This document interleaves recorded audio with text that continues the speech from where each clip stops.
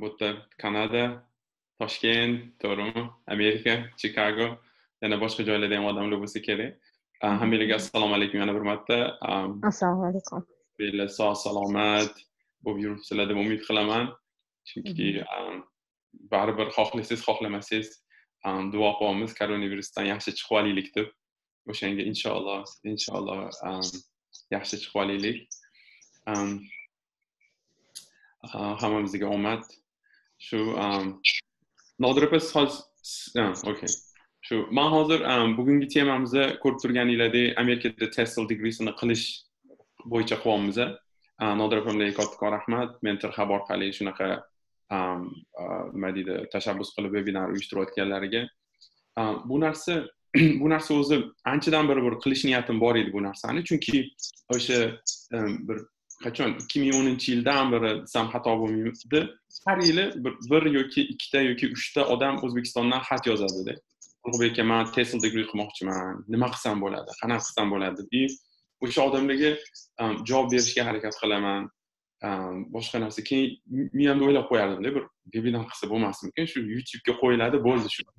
Nima deydi? Keyingi safar kimdir yozsa mana shuni beraman debda yoki o'zim uchun email qilib qo'ygan edimda kimdir o'zbekistondan yozsa mtsl qilmoqchiman amerikada nima maslahatlar berasiz desa o'sha templateni yuboradigan qilibda чтобы boshqatdan xat yozmasdan turib.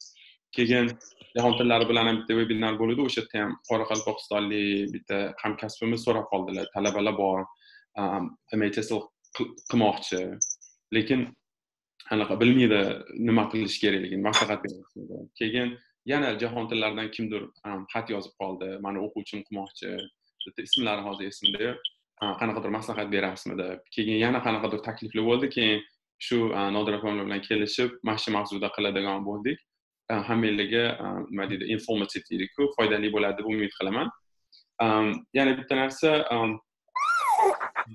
man o'zimni o'zimni tajribamdan kelib chiqqan holda o'zimni tajribamdan kelib chiqqan holda hozir maslahatlar beraman shu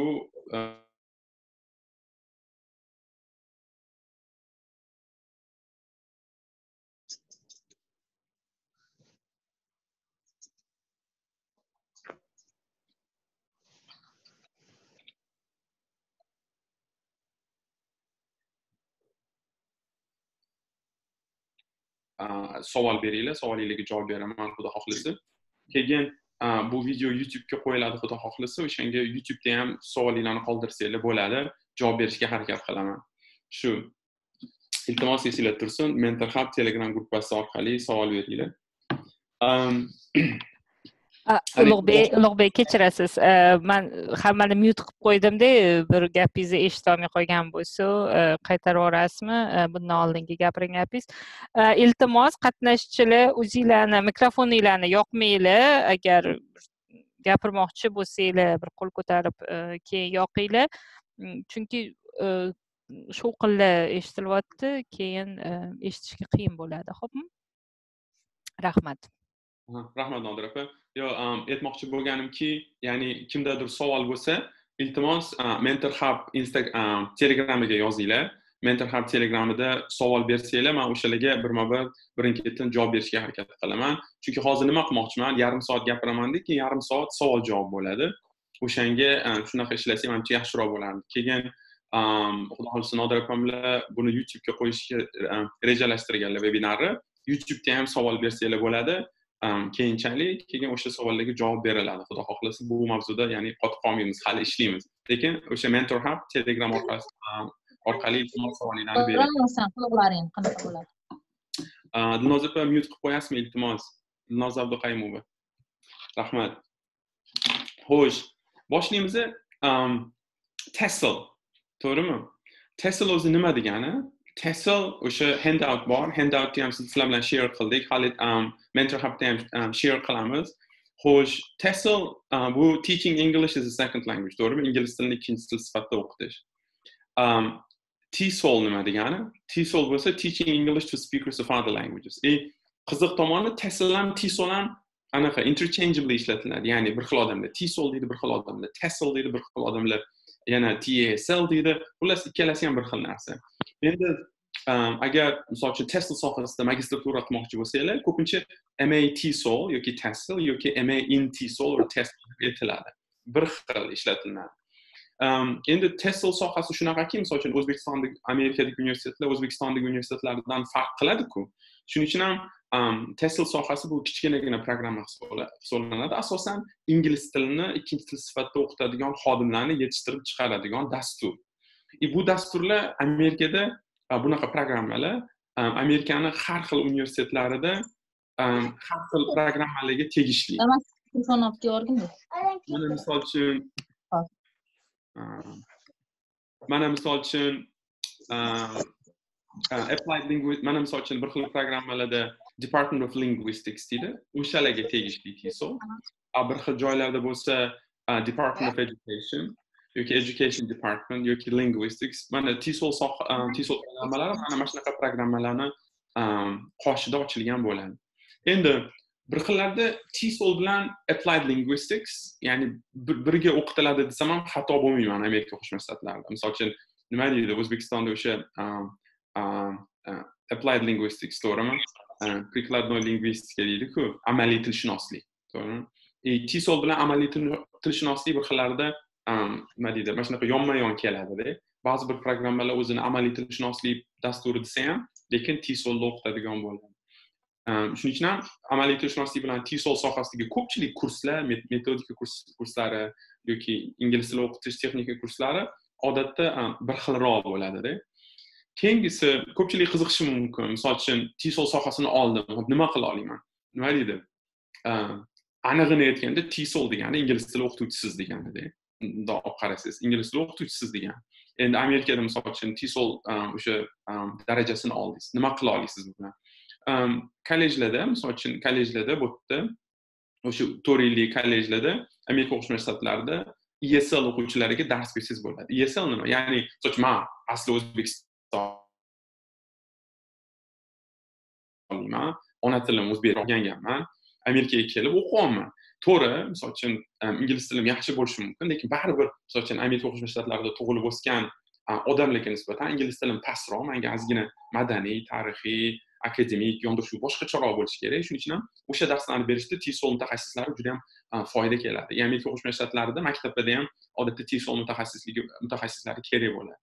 Yoki intensive english programs misol uchun hozir anaqa intensive english programs nima degani ko'pincha har bitta universitet qoshida kanada bo'ladimi amerikami angliyami o'sha ingliz tilini intensiv ravishda o'qitadigan kurslar bor. O'sha kurslarda misol uchun dars bersangiz bo'ladi.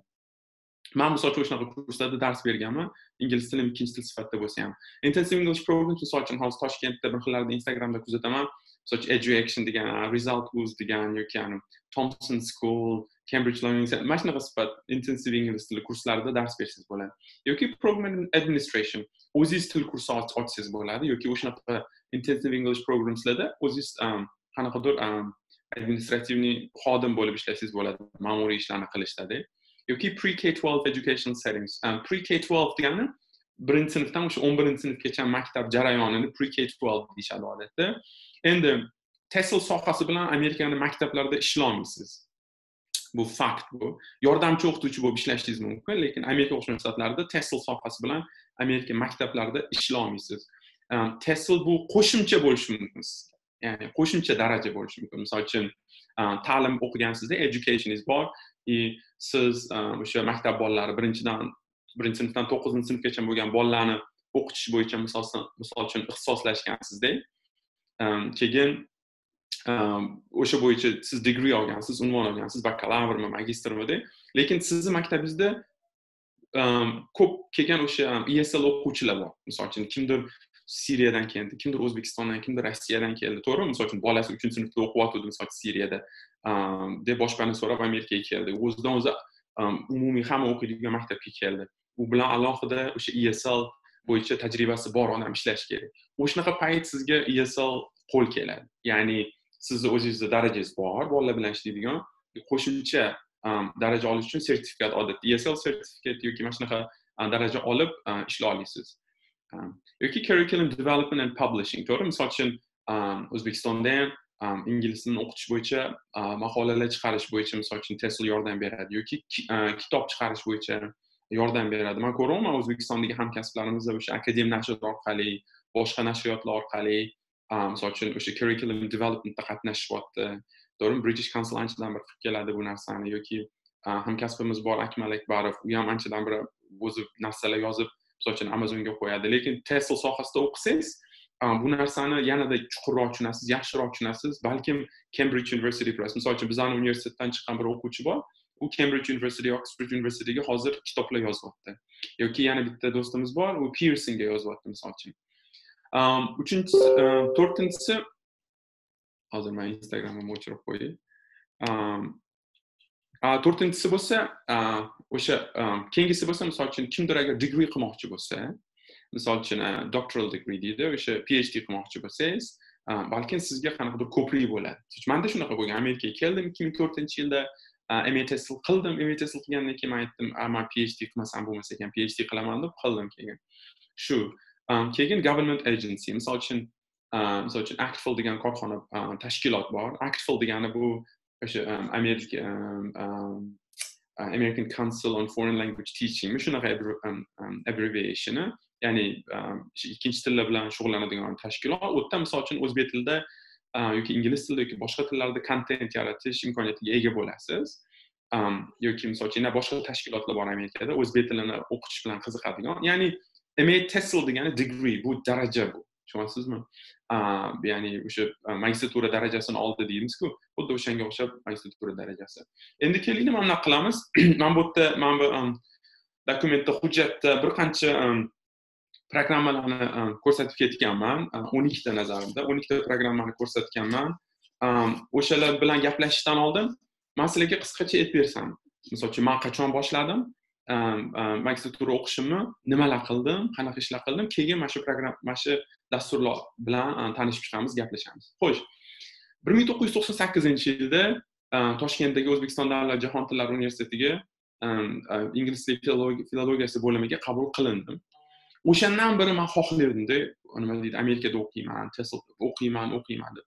Xullas kalom soros foundation bo'lardi o'shanga topshirib ko'rardim. Chivning scholarship bo'lardi o'shanga topshirib ko'rardim. Hornby bo'lardi o'shanga axels bo'lardi o'shanga hamma xullas kalom topshirmagan joyim qolmaganda ikki minginchi yil bo'ldi hali ham acceptance olmadim. Ikki ming ikkinchi yil bo'ldi hali ham olmadim. Birinchi etapdan o'taman ikkinchisidan o'tolmayman. Uchinchi etapdan misol uchun uchinchisiga borolmadim keyin nima qilsam bo'larkan dedimda shuna qarab yuraverdim o'zbekistonda magistraturani ham boshladim. ikki ming ikkinchi yili e, jahon tillaridagi tarjimonlik bo'limidada boshladim hamda harakat qilib yurdim. O'rtoqlarim ham bor edi o'rtoqlarim bilan harakat qildik. Keyin bitta o'rtog'imiz amerikaga ketdi indiana universitetiga keyin u maslahatlar berishni boshladi. Keyin o'rtog'imiz bilan yana harakatlar qildikda aynan o'sha yili ikki ming to'rtinchi yili fulbright flta deydi ya'ni amerikada o'zbek tilini o'qitish shunaqa programma bor iltimos yozib qo'yinglar flta amerika elchixonasi tomonidan beriladi ya'ni amerikaga kelib o'zbek o'zbek tilini yoki rus tilini o'rgatasiz bu daraja emas bu ya'ni ma programma emas lekin bir yilga kelib dars berasiz xullas shunaqa bo'ldi и qiziq tomoni e, ikki ming uchinchi yili e, britaniya konsulxonasi tomonidan Um, language and the world degan konferensiya bo'ldi. O'sha konferensiyaga tarjimonlar kerak bo'ldi. Yordamchi tarjimonlar biz endi jahon tillarida o'qiganimizga bizani britaniya konsulsiyasi yordamchi tarjimon sifatida oldida и o'sha yoqqa bordim. Tarjima qilib yurdim. O'sha yerda bir um, amerikalik professorni ko'rib qoldim.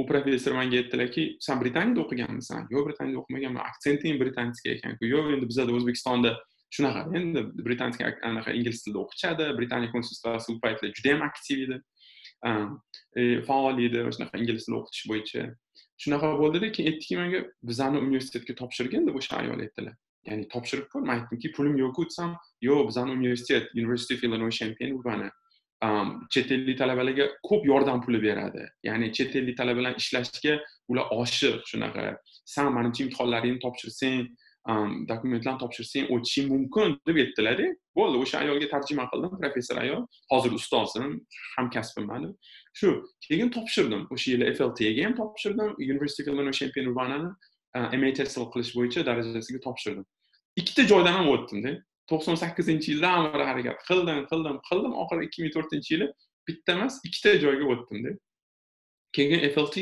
aytishyapti sani bir yilga yuboramiz hech narsa puling kerak emas lekin university of illinois champaign urbani aytyaptiki biza sani qabul qildik biza sani qabul qildik tabriklaymiz lekin bizada bir yillik o'qish qirq ming dollar давай qirq ming dollarni cho'zganda keyin o'qigin bizaga deb man qayerda endi man oddiy oddiy lekin o'qimishli injener odamman farzandiman halol luqma berib yedirishgan unaqa levi pravi degan joylari yo'q. Ehm, xullas kalom keyin keyin bir nemis o'rtog'im bor edi. Ehm, nemis e, do'stimdan so'radim. O'zbekistonda faoliyat yuritayotib man aytdimki shunaqa universitetga qabul qilindim. Lekin nima qilishni bilmayman hozir. Qirq ming dollar so'rayapti. Ehm, desam keyin o'rtog'im aytdiki san dedi programmani boshlig'iga xat yozgin dedi. Xatingni tushuntirgin. San? Nima deydi oddiy oiladan chiqqan bolasan lekin o'qishga qiziqasan. Shu bilan birga san nima deydi o'qimoqchisan nima deydi intilmoqchisan tushuntirgin holatingni misol uchun o'zbekistonda bir oylik oylik nechi pul qirq ming dollar qayerda o'zbekistondagi bir oylik oylik qayerda deb shuni xat yozgin dedi o'zi manga xat yozishga qarashib yubordi iltimos e'tibor beringlar amerikada bitta professor man tanimaydigan odamni ko'rdim u odam san topshirgin dedi ikkinchisi germaniyalik bir odamni ko'rdim hey shunaqa yo'li bor mana bunaqa xat yozgin financial support so'ragin deb u menga iltimos qildi. Bu bilan nima demoqchiman? Ya'ni akademik yondashuv akademik talablar mamlakatdan mamlakatga farq qiladi. Qarang man o'zbek bolasi chetga chiqmaganman shu narsalarni menga ko'rsatib berishdida. Xullas kalom keyin yozdik. Yoshim bilan ikki haftalardan keyin manga aytishdi hey sani ingliz tiling yaxshi ekan. Universitetda university of illinois champaign urbana sani ingliz tiling yaxshi ekan sani yozuving ham yaxshi ekan. Bizlarda chet ellik talabalar ko'p. San kelginda san kelib shu yerda chet ellik talabalarga yozuvdan dars bergin. De shu orqali san o'qishingga to'laysan deyishdi. Ya'ni nima bo'ldi? Man chet ellik talaba sifatida manga universitet o'sha qirq ming pulni qoplab berdi. U pulni o'zingizga olmaysiz qo'lingizda yurmaydi. U universitetdan universitetga yuradi qog'ozda yuradi u narsada ya'ni universitet o'sha dunyoda yigirma beshinchi o'rinda turadigan universitet mani qirq minglik har yil oladigan o'sha qirq minglik man uchun ketadigan pulni to'lab berdi o'zi. Lekin man amerika qo'shma shtatlarida yashashim uchun yeb ichishim uchun manga ular o'zini fakultetidan ish taklif qildi. Ya'ni haftasiga yigirma soat ishlaysiz chet ellik talabalarga ingliz tili yozuvidan dars berasiz. Ya'ni boy bo'lib ketmaysiz o'sha payt bilmadim sakkiz yuz dollarmidi to'qqiz yuz dollarmidi ikki ming to'rtinchi yil ya'ni uyingizga kitob olishingizga kiyim kiyim kiyinishingizga endi toshkentga o'xshamaganku amerika bundoq kiyimingizga qarab odamlar baho beradigan ya'ni normalniy bundoq kiyinsangiz bo'ldida sovqat qolmasangiz yozda isib ketmasangiz xullas ikkovlar mana shunaqa bo'lib kitobingizga yeb ichishingizga yetadigan darajada pul berardi o'sha ikki ming to'rtinchi yilda keyin boshlagan bo'lsam o'qishimni ikki ming oltinchi yili dekabrda tugatdim. Shu mana shu ikki yarim yil mobaynida man assistantship bilan o'qidim. Ya'ni teaching assistantship. Ya'ni man ishlayman dars beraman chet ellik talabalarga dars berganim hisobiga ular menga shu oylik to'ladi. Shunaqa bo'ldi. O'qishimni bitirishimga ikki yil emas ikki yarim yil ketdi. Chunki man thesis yozdim. Ya'ni ilmiy ish qildim. Thesis yozganim uchun menga ozgina ko'proq vaqt ketdi. Ba'zi bir do'stlarim ikki yilda bitirib ketishdi. Lekin amerika qo'shma shtatlarida ma dasturini bir yarim yilda tugatsangiz ham bo'ladi. Aqlli bo'lsangiz disiplina yaxshi bo'lsa qiziqishingiz zo'r bo'lsa и professorlar sizni shu narsangizni ko'ra olsa bitirsa bo'ladi. Shu. Mana shu yerda chunki buni gapirib berganimni asosiy sababi чтобы kontekst yaratish uchun. Man sizlarga mana shu hikoya aytayotgan paytimda balkim qanaqadir savolinglar bo'ladimi o'sha savollarni berishinglar uchun.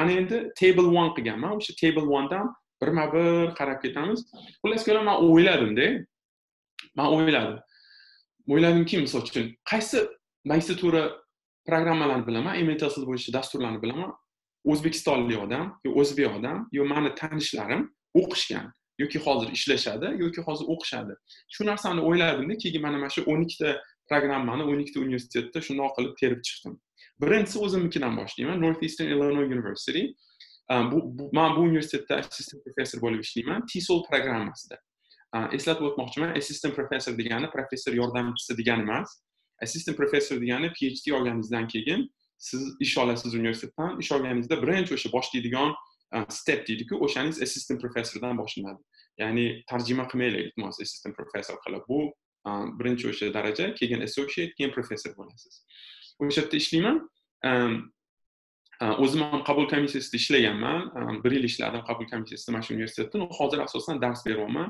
chunki e, ilmiy ishga qiziqqanim uchun e, administrativniy ma'muriy ishlarni qilishga uncha vaqtim yo'q. Bu programma nima deya olaman? Bu programma juda yam zo'r programma. Man o'zim ishlayotganim uchun emas. Manga yoqadi bu programma. Talabalarimiz ko'p. Xalqaro chet ellik talabalarimiz uncha ko'p emas. Asosan amerikaliklarga dars beramiz. Mahalliy mana shu chikago chikago atrofida til o'qitishga qiziqadigan odamlarga xodimlarga dars beramiz. И ko'pchilik o'quvchilarimiz amerika qo'shma shtatlaridagi maktablarda ishlaydigan o'qituvchilar. Ba'zi birlari besh yil tajribasi bilan ba'zi birlari yigirma yil tajribasi bilan bor. Ba'zilari endi boshlagan ba'zilari уже buvalarni o'qitaman. Misol uchun bir xil o'quvchilarim уже nevaralari bor nabirali odamlar. Bu programmada asosan biz o'sha chikago va chikago atrofida o'qiyotgan maktablardagi esl kichkina bolajonlar borda.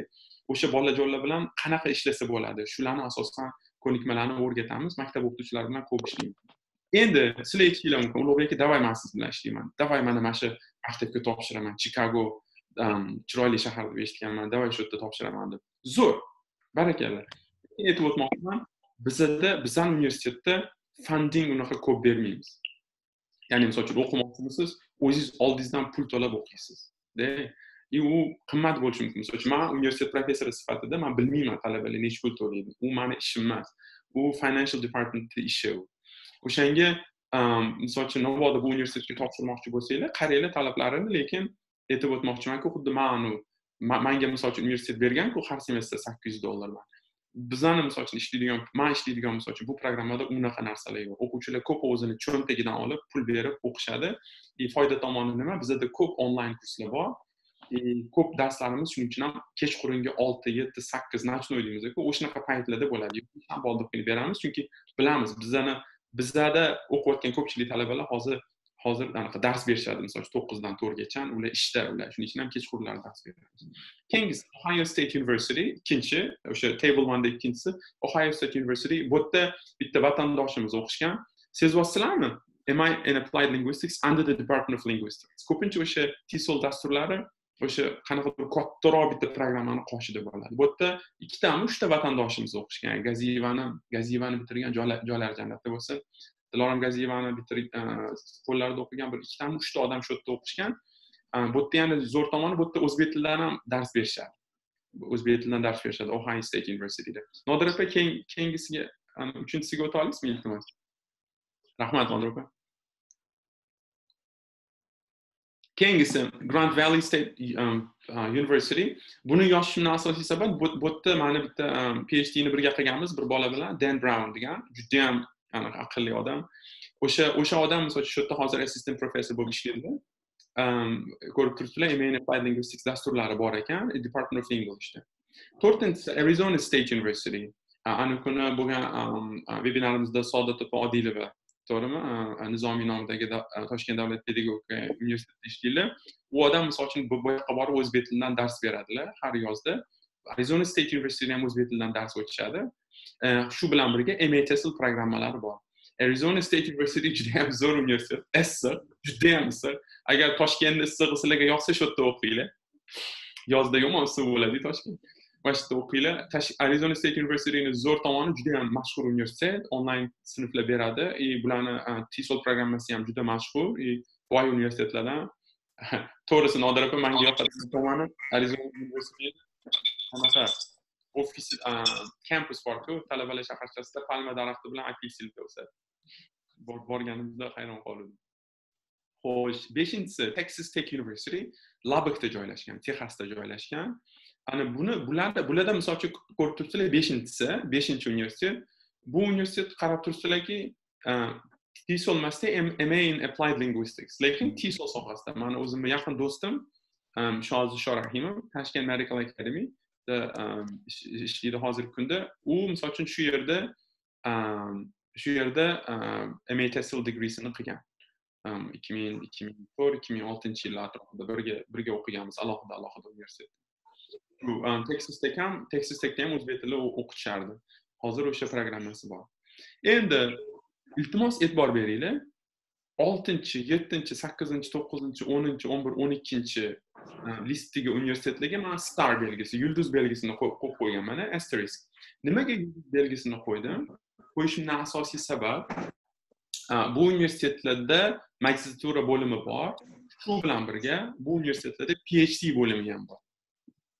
Endi misol uchun bir xil aytish mumkin man man amerika qo'shma shtatlariga boramanda master qilamanda master bilan birga phd ham qilib yuboraman ulab yuboraman ketdi ketsa bu universitetlar zo'r imkoniyat. Ya'ni o'sha universitetlarda ham qilasiz ham phd shu o'shani qo'ya olasizlarmi iltimos shu. Oltinchisini misol uchun e'tibor beradigan bo'lsak nodir aka oltinchi universitet manga ko'rinmayapti shundoq scroll qilib yuborasizmi zo'r. Georgia state university. Bu atlanta jorjiyada joylashgan. Bu judayam prestijniy programma. Hozir bizani sohamizda. Hozirgi kecha kunduzda bizani sohamizda georgia state university judayam prestijniy programma. Ya'ni ya'ni ularda yana zo'r tomoni nima? Katta katta olimlarni o'zigisiga olib olishgan shu bilan birga misol uchun assistantship misol uchun research qilmoqchi bo'lsangiz sizga research opportunity bor teaching qilmoqchi bo'lsangiz teaching opportunity bor shunaqa judayam olg'a qadamlarda ketayotgan. Indiana university bloomington. Indiana university bloomington indiana shtatini bloomington shahrida joylashgan. O'zbek tilini o'qitish bo'yicha amerikada eng zo'r universitet shu hisoblanadi. O'zbek tili o'qitish bo'yicha amerikada eng zo'r universitet lekin shu bilan birga ularni TESOL programmasi ham bor. Ular ham juda yam aktiv sohasi bo'yicha misol uchun pragmatikaga qiziqadigan hamkasblarimiz bo'lsa o'sha pragmatika bo'yicha o'sha katta olimlar mana shu yerda yig'ilishgan keyingisi sakkizinchisi northern arizona university. man shu yerda phd qilganman northern arizona university flagstaff. tog'ni orasida joylashgan faraz qilinglar chirchiqda universitet bor xuddi shunaqa kampusga chiqasiz faqat tog'ni ko'rasiz nafaqat tog'da joylashgani uchun bu zo'r universitet balki bu universitet o'sha zo'r zo'r professorlarni o'ziga e yiqqan universitet soha o'sha amaliy tilshunoslik bo'yicha soha egalari shu yerda joylashgan и phdda dars beradigan odamlar shu yerda dars berishadi ana kuni mandan kimdir so'rab qoldi vebinar uyushtirganimizda o'sha reading bo'yicha qiziqaman reading bo'yicha odamni otini ayta olasizmi degdi man aytdim o'sha william uh, grabi bilan frederika skoler mana shu universitetda professor bo'lib ishlashadi yoki corpus linguistics bo'yicha um, top dunyoda manimcha birinchi o'rinda turadigan universitet mana shu northern arizona university ularni magistratura programmasi ham bor endi e, yana bir marta eslataman hozir kelgan odamlarga yulduz qo'yganmanku o'sha yulduzdagi programmalar bular birinchidan mashhur ikkinchidan phdsi bor uchinchidan ular financially ya'ni sizga yordam puli bera oladi qaysidir ma'noda yoki dars berasiz yoki ilmiy ish qilasiz. Keyingisi michigan state university. Second language acquisitionga qiziqadigan odamlar um, susan gas degan odamni eshitgan bo'lishingiz kerak professor susan gas um, o'sha odam michigan state universityda ishlaydi. Ular ham juda yam ilg'or juda yam aktiv uh, dunyoda manimcha birinchi o'sha beshtalikka kiradigan programma bo'lsa kerak. Ularni ham o'sha mtsl programmasi bor. Uh, manimcha o'zbekistondan ikkita odam shu universitetda o'zbek tilidan dars berib ketgan. Ikkalasi ham jahon o'qigan o'sha o'zbek tilidan dars berib otlari hozir esimda bittalarini otlari baxtiyor ikkinchilarini otlari esimda ehm, xullas shunaqa. Keyingisi o'ninchisi university of illinois at urbana champaign. Bu universitetda man magistratura qilganman o'sha mtsl sohasini qilganman. Mtsl sohasi ilgari boshqacha bo'lardi. Hozir bo'lsa nazariy tilshunoslik bo'limini bitta bosqichida bitta bo'limida ehm, mana shu universitetda lekin maslahat beraman chunki ular ham birinchidan nima deydi? U man o'qiganman ikki ming to'rtinchi yil boshlagan bo'lsam ikki ming beshinchi yil o'zbekistondan yana aziz yo'ldashev degan odam boshlagan. Ya'ni ya'ni o'zbeklar bilan tanish o'zbekistonlik bolalar bilan demoqchimanda har holda man tugaltirmaganmiz. Shu mana shu bor. Keyin o'n birinchisi penn state. Ularda ham magistratura bo'limi bor. Agar misol uchun anavi qualitative studylarga qiziqsanglar E, yana anavi odam bor ediku vaygotskiy vaygotskiyni ishlariga qiziqsanglar mana shu universitet ham ham ma olasizlar ham mana shunaqa social cultural theory yoki social linguistics bo'yicha judayam mashhur universitet. Keyingisi odamlar yozishyotgandi o'n ikkinchisida aytishyotgandi man texnologiyaga qiziqaman e learningga qiziqaman qanaqadir dasturlarni manga maslahat bera olasizmi deb. Agar magistraturani shu soha bo'yicha qilmoqchi bo'lsanglar iowa state university. Judayam zo'r universitet ya'ni texnology bo'yicha judayam ilg'or universitet judayam ilg'or universitetlar shu. Mana mana shu o'n ikkita universitet maslahat berdim. Endi miyamga yana nimadir fikr kelib qolsa mana shu yoqqa qo'shaveramanmanda ya'ni shuning uchun ham google docsni ochdim. Xudo xohlasa nodir opamlar bilan shunaqa qilamiz. Youtube qo'ygan paytda youtube tagida чтобы mana shu dokument turadi. Mabodo qanaqadir narsa yengillik qo'shmoqchi bo'lsam mana shu yerga yengillik qo'shib qo'yaman и bu dokumentni ingliz tilida yozganimni sababi bu bu dokument nafaqat o'zbek auditoriyasiga foydali bo'lishi mumkin balki o'zimni bakalavr qilayotgan o'quvchilarimga ham foydali bo'ladi. Ba'zida kelishadi o'quvchilar qaysi programmaga topshirsam ekan deb. Shuning uchun ham ingliz tilida yozdim. Shunaqa gaplar. Ana endi birov yana besh minut o'sha important degan joyiga o'tamizda. Keyin savol javob qilsak bo'ladi. Xo'sh important hozir o'zimni o'zimni vaqtimni qilib qo'yay чтобы savol javoblagan vaqt qolsin. Xo'sh program misol uchun mana shu programmadan bittasini yo ikkitasiga topshirmoqchisizlar maslahatim uchtasiga topshiringlar. To'g'ri pul ketadi vaqt ketadi lekin uchtasiga topshiringlar. Hech qachon bittasiga topshirmanglar man judayam xursand bo'ldim. O'zbekiston ham hozir bir paytni o'zida ikkita uchta universitetga topshirsangiz bo'ladi man judayam xursand bo'ldim. Ya'ni hayot muammosi emas unchalik uchtasini tanladinglarmi nima qilishinglar kerak? Birinchi o'rinda programmani o'sha veb saytini yaxshilab o'rganinglar. Shart yaxshilab o'rganishinglar shart. Bu o'zinglar uchun ham foydali. Nima kurslar berishyapti? Sizga yaxshimi yomonmi? Aytdimku hali misol uchun misol uchun vigotskiyni ishiga qiziqsanglar penn statega topshirasizlar. Texnologiyaga qiziqsanglar iowa statega topshirasizlar. Corpus linguisticga qiziqsanglar northern arizona shunaqa qilib o'zgartirib ketaverasizlarda. Shuning uchun ham programmani bilishinglar shart. Keyingisi program faculty. Faculty degani fakultet degani emas. O'zbekistonda haliyam o'sha jahon tillarida boshqa universitetlarda haliyam faculty deganni fakultet deb tarjima qilishadi. Yo'q bu noto'g'ri. Bu noto'g'ri bu. Faculty degani professorlarni ro'yxati degani. Ya'ni misol uchun I am the faculty of the TESOL program of Northeastern Illinois University. Man Northeastern Illinois University'ni TESOL dasturini professoriman degan ma'noda. Faculty degan o'qituvchilar ro'yxati. O'sha professorlar ro'yxatini yaxshilab ko'rib chiqinglar. nima yozishgan nima qilishgan qanaqa narsalarga qiziqishgan balki kimnidir qiziqishi o'zbekiston to'g'risidadir kimnidir qiziqishi markaziy osiyo to'g'risidadir balki kimdir ham markaziy osiyo bilan ishlayotgandir hayron qolasizlar aytsam misol uchun university of chicago dunyoda o'ninchi o'rinda turadi e, qirq minut narida bizdan o'sha yerda e, o'zbek tili o'qitishadi shu bilan birga o'sha yerda e, o'zbekistondagi arxeologlarni ishlarini kuzatadigan bitta katta olim bor ekanda yoki misol uchun o'zim ishlaydigan universitetda um, rassel zanka degan odam bor o'zbekistonda paxtachilik ishlari bo'yicha ilmiy ishini qilgan.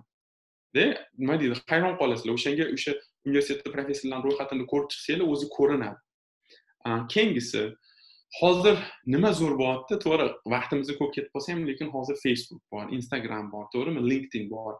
Ana o'sha ana universitetda o'sha social media platformalarini qarab chiqinglar. Balkim qaysidir talaba o'zbek bo'lib qolishi mumkin? Qaysidir talaba misol uchun qirg'iz rossiyalik bo'lib qolishi mumkin? Har holda o'zinglar uchun nima deydi? Qanaqadir informatsiya qancha ko'p informatsiya olsanglar shuncha yaxshida. Ehm, man mana shuni maslahat bergan bo'lardimda. Shu. Keyingisi ehm, nodir opa sal o'tasizmi ehm, sal pastroq o'tsangiz to'rtinchisi. To'rtinchisiga boramiz faculty dedimi? Odatda o'sha savolinglar bor sizlarda misol uchun. O'sha programma to'g'risida qanaqadir savol bor. Baribir bo'ladi savol savol bor degani bu voy man tushunmayapman voy e, aqlim ishlamayotgan ekan degani emas. Savol bor degani voy mani aqlim ishlayapti. Shuning uchun ham man tekshirishim kerak deganida iltimos shunaqa yondashinglar. E, ya'ni savolinglar bormi? O'sha savolni so'ranglar iltimos. И odatda o'sha har bitta programmani o'sha o'zini o'sha yili qiziqqan talabalar ishlaydigan talabalar bilan ishlaydigan professori bo'ladi. Mana misol uchun qaysidir yili man bo'laman. Qanaqadir savol bormi qaysidir qiziqqan talabaga o'sha talaba manga yozadi. Keyingi yili mani kollegam bo'ladi. Undan keyingi yili yana kimdir bo'ladi. Undan keyin yana kimdir bo'ladi. Ya'ni aytmoqchimanki o'sha programmani veb saytini yaxshilab qarab chiqqaninglarda o'sha yerda o'zi odamlar bo'ladi o'sha o'sha odamlarga yozinglar yoki qaysi professorga yozsanglar o'sha odamga sizni nima deydi irg'itib yuborishadi forward qilib yuborishadi ya'ni o'sha assigned person bo'ladi shu email yozganda iltimos ya'ni ya'ni ular sizlarni o'rtog'inglar emas ya'ni ular sizlarni anaqa emas nima deydi vatandosh emas balkinda ya'ni professorligini hurmat qilib ya'ni o'sha chiroyli gaplar ishlatib iltimosni ham normalniy qilib yozishinglarni maslahat bergan bo'lardim chunki har holda endi anaqada nima deydi hali bilmaysizlar u odamni first impression baribir kerak bo'ladi beshinchisi university versus program. Iltimos esinglarda tursin misol uchun o'zbekistondagi e, universitetlarda odatda qanaqa universitetga topshirasiz bo'ldi o'sha qaysi programmani tanlaysiz bo'ldi. Odatda shunaqada endi to'g'rimi? Hozir agar o'zgarib ketmagan bo'lsa. E, Amerikada qanaqa? Universitetni talablari bor. Programmani talablari bor. Misol uchun universitetga aytishim mumkin. Ieltsdan yetti olishing shart. Statement of purpose bo'lishi shart. Yana nima um, bizaga o'sha o'qigan fanlaringni ko'rsatishing shart yana mana bu narsa shart misol uchun ellik dollar to'lashing shart chunki um, amerikada uh, o'sha uh, universitetga dokument topshirsangiz o'tsangiz o'tmasangiz baribir pul to'laysiz. Ellik yoki oltmish dollar. Mana shunaqa fisi bor shart endi programma aytishi mumkin. Programma nima deyish mumkin? Yaxshi universitet balli yetti ekan lekin biza faqat yetti yarim yoki undan yuqori olgan bolalarni olamiz. Tushunyapsizmi ho'p statement of purpose yozibdi lekin bizda faqat statement of purpose zo'r bo'lgan bolalarni olamiz. O'shanga universitetni o'zini talablari bor и programmani o'zini talablari borda bu narsa iltimos esinglarda tursin. И mana bunaqa bo'ladi. Man o'zim ham qabul komissiyasiga ishladim bu yerda bir semestr mana bunaqa bo'ladi. Universitet sizdan hamma narsani qabul qilib oladida keyin ko'rib chiqadi hamma narsani topshirdimi yo'qmi ikkigina hammasi umumiy odamlar. Qarab hammasini topshirganingizdan keyin keyin sizni dokumentingizni keyin programmaga jo'natadi keyin programmada o'sha qabul komissiyasi hay'ati bor. Ko'rib yana bitta narsa esinglarda tursin iltimos amerika qo'shma shtatlarida ko'pincha ko'pincha semestr kuzda boshlansa ham lekin qabul komissiyasi ham kuzda ham bahor semestrlarida bo'ladi. Ya'ni xohlasangiz bahorgi semestrda boshlang kuzda dokumentlaringizni topshirishingiz kerak. Xohlasangiz kuzda o'qing bahorda topshirishingiz kerak mana shunaqada qarab chiqing qachon qabul qilinadi common requirements oltinchisini aytyapman common requirements odatda o'sha statement of purpose yozishinglar kerak juda yam chiroyli yozinglar iltimos statement of purpose misol uchun sizlar aytishinglar mumkin mana yozdim deb man misol uchun statement of purpose yozganimda beshtami oltita variant bo'lgan yozaman komment olaman yozaman komment olaman yozaman komment mana shunaqa и sizlar o'ylashinglar mumkin mani ingliz tilim shunaqa bo'lgani uchun mumkin yo'q amerikada o'zida tug'ilgan odamlar ham shunaqa yozadi. Mana misol uchun ayolimga bir xillarda aytishadi mani qizim qayergadir topshiryapti iltimos ko'rib bersinlar debdi bo'lmasam ayolim o'zbeklar ko'rib beradi. Manga misol uchun aytishadi amerikalik talabalarim aytishadi. Fikr olasiz yozasiz. Bittada qilmanglar постоянно o'rganib yozib revise qilib keyingisi proficiency test. Mana bunaqa narsada ielsda misol uchun hozir olti olishyaptida ieltsda olti olishyaptida bo'ldi mani ingliz tilim zo'r ekan deyishyapti. Yaxshi olti yaxshi normalniy lekin amerika universitetlarini misol uchun normalniy amerikalik universitet to'rttaligiga kiradigan amerikadagi universitet oltini признавать qilmaydida. Iloji bo'lsa yetti yarim yetti yarimdan baland olinglar. Nimaga? Yetti yarim yetti yarimdan baland olish asosiy talabi birinchidan qarab ko'ringlar amerikaga topshirayotgan bo'lsanglar. O'zi ieltsni qabul qilyaptimi? Amerika yo'qmi birinchi o'rinda shuni qaranglar balkim to'fl o'tganda shuni qaranglar ikkinchidan ieltsdan so'rayapti shunisiga ham e'tibor beringlar iltimos. Endi sizlar aytishinglar mumkin darajani bu debda yo'q ingliz tilida daraja to'g'ri ielts lekin ieltsdan yuqori ball olsanglar universitetdagi ma'muriyatni radariga tushasiz ya'ni sizlar qaysidir ma'noda sakkiz to'qqiz olsanglar sizlar universitetni reytingini oshiryapsizlar ya'ni ular nima deydi? E bizaga ieltsdan sakkiz to'qqiz oladigan odamlar kelyapti и biza mana shu bolaga sharoit yaratib berishimiz kerak ekan deydi hurmatda har holda ularga ham obro'da ularga ham. Mana shunaqa deydi man misol uchun man o'zim bilaman toefldan toefldan bir yuz yigirma ball bo'lsa bir yuz yigirma ball olgan o'rtog'im bor. Hozir professor bo'lib ishlaydi amerikada. O'sha o'rtog'imga michigan state university besh yillik полностью pulini to'lab berdi phd qilish uchun. И yana qo'shimcha qanaqadir grantlar berardi. Nimaga? Chunki rekordida bir yuz yigirma ball bo'lsa endi topba bir yuz yigirma ball olgan. Xuddi ielsda to'qqizdan to'qqiz olgandek gapda o'shanga iltimos shunaqa joylarga e'tibor beringlar ya'ni to'g'ri qiyin to'g'ri misol uchun man ham testga kirsam yuragim urib ketadi to'g'risini aytaman. Misol uchun man ham ielts topshirishim mumkin hozir to'qqiz olmasligim mumkin bu aniq. Chunki bir xilla testni yaxshi topshiradi bir xilla g'alati topshiradi. Bu narsa bor narsa. И testdan katta ball oldim degani balkim yozuvi zo'rdir readingi zo'rdir lekin gapirish yaxshi emas bo'lishi mumkin to'g'rimi? O'shanga o'xshab shunaqa joylar bor lekin baland oberinglar o'zinglarga foyda bo'ladi. Recommendation letters. Recommendation letters talab qilishadi amerika universitetlarida. E, iltimos recommendation letters olganda misol uchun bir xilla manga yozishadi.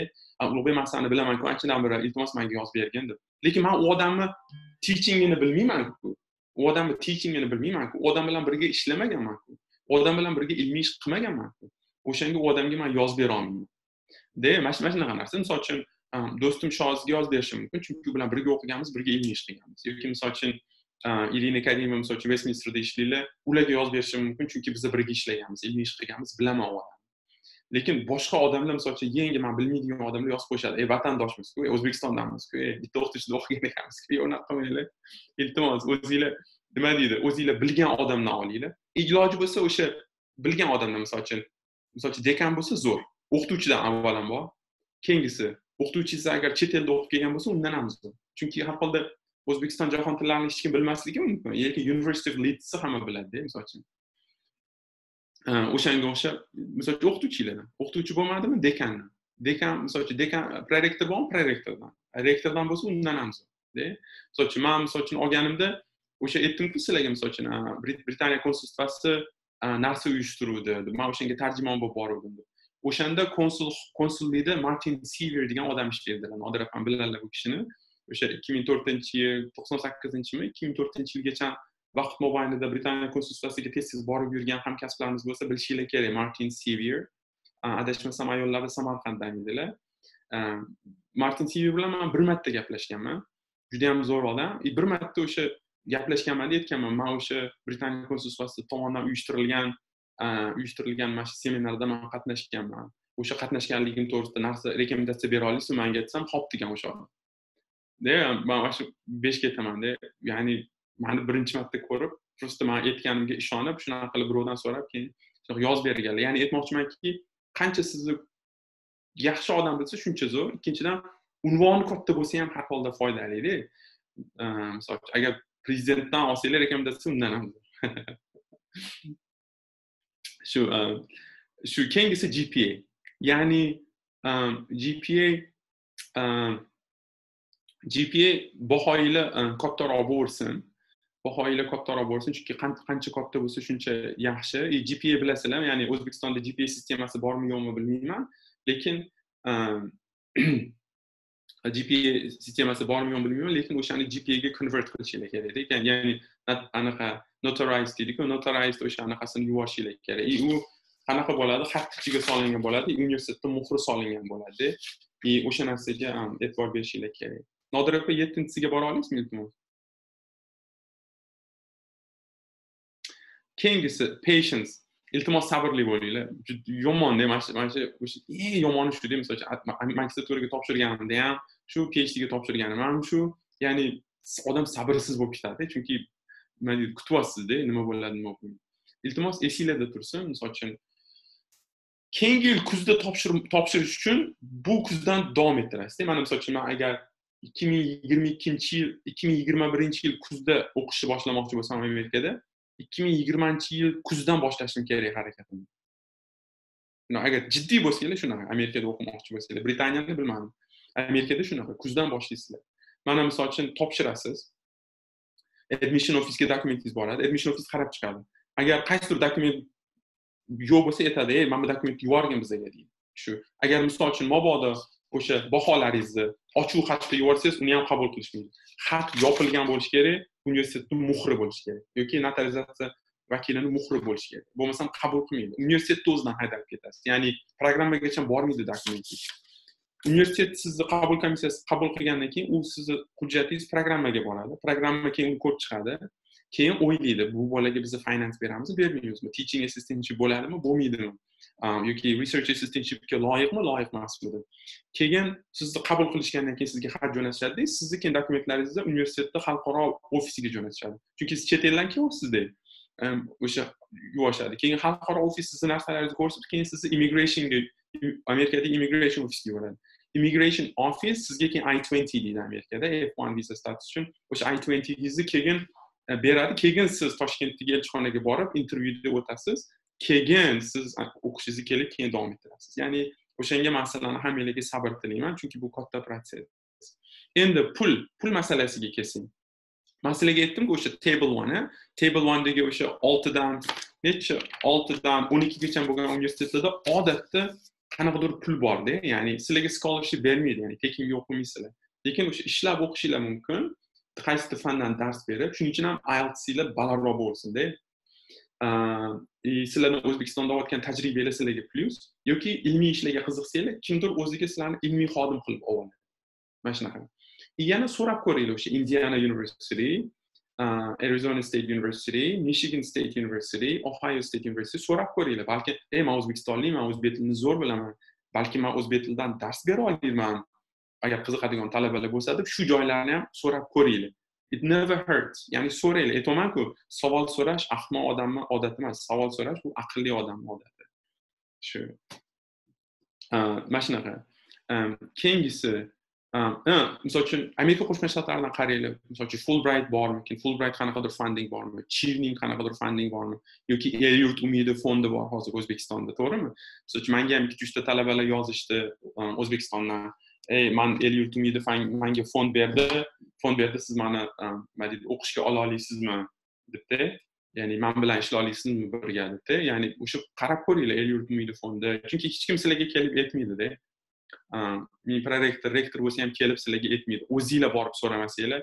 Chunki jamiyatimiz shunaqa shakllanganda e, keyingisi to'qqizinchisi agar phdga qiziqadigan talabalar bo'lsa phdga qiziqadigan talabalar bo'lsa o'sha oltinchidan o'n ikkigacha bo'lgan nomerlarni nomerdagi universitetlarni ko'p chiqinglar. Chunki ularda phd ham borda balki magistraturadan keyin phdni davom ettirarsizlar mana shunaqa joylarni ham o'ylab ko'ringlar.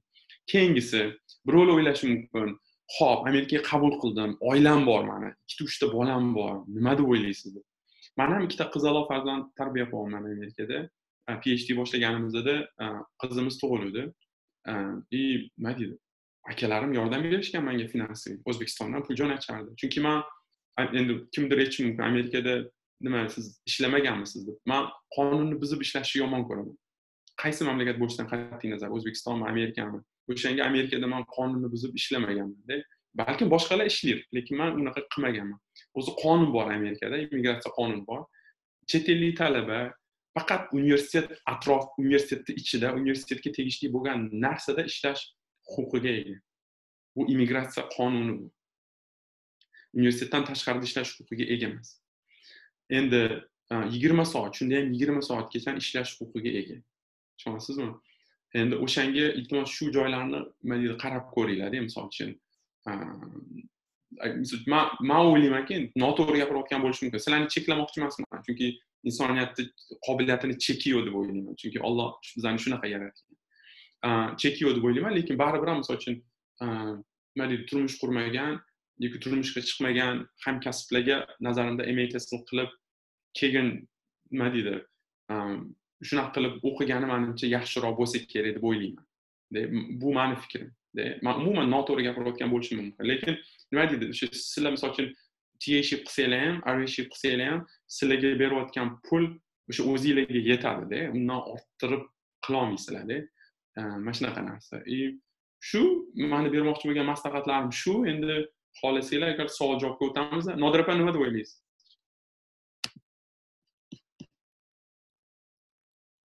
Ha rahmat ulug'bek mana bir nechta savollar bu yerda yozishdi. Bo'pti. O'shanga o'sha anaqa hozir zoomda ochdim o'sha sekin sekin javob berib ketavering hozir. Namcha o'zi ikkita ikkitan birinchisi tisul tisul o'sha farqini boshida aytdim ma'mura yusupova e, farqini aytdim e, maxsus qilgan mishiginda e, o'shalar bo'lsa kerak bahrom alimardonov chunki parallelda o'qiganmizda judayam anaqa zo'r yigit. Assalomu saodat opa vebinarda chiqishga uzr okey saodat opa xudo xohlasa gaplashamiz yana education credits haqida tushuncha bersangiz. Ha education credits okey manimcha ehm, jamila opa siz berayotgan savol manimcha anaqa bo'lsa kerak. Misol uchun o'zbekistonda o'qidim. O'sha o'zbekistonda o'qigan kreditlarimni e, master programga qilsam bo'ladimi? Manimcha bo'ladi. Bitta yoki ikkitasini. Bitta yoki ikkitasini qilsangiz bo'ladi. Lekin hammasini ham qilib berolmaydi universitet. Misol uchun man o'zim ishlagan programmada ehm, bitta ehm, hamkat bitta talaba bor edi. U xitoyda dars bergan. O'zi amerikalik xitoyda dars bergan. Xitoyda bo'lganida tesl sertifikat qilgan.